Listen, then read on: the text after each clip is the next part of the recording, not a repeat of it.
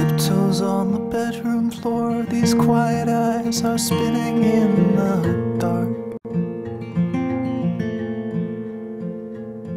A secret wish that none will know. She keeps it locked up in her pale heart.